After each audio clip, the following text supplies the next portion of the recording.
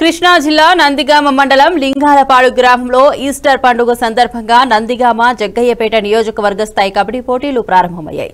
ఈ కబడ్డీ పోటీలను గ్రామ సర్పంచ్ బొల్లినేని శ్రీనివాసరావు పద్మజ స్థానిక నాయకులతో కలిసి వచ్చి ప్రారంభించారు.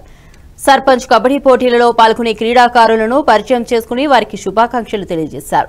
లింగాలపాడు గ్రామ యూత్ వారి ఆధ్వర్యంలో ఈ కబడ్డీ పోటీలు జరుగుతున్నాయి. ఈ కబడ్డీ పోటీలలో ముప్పై టీముల వరకు పాల్గొంటున్నాయి. ఈ కార్యక్రమంలో కమిటీ సభ్యులు బచ్చలకూర భూషణం వల్లపుదాసు సీతయ్య మార్కపుడి సురేష్ బాబు నకిరికంటి బాబు మార్కపుడి రవికుమార్ గ్రామ పెద్దలు పాల్గొన్నారు.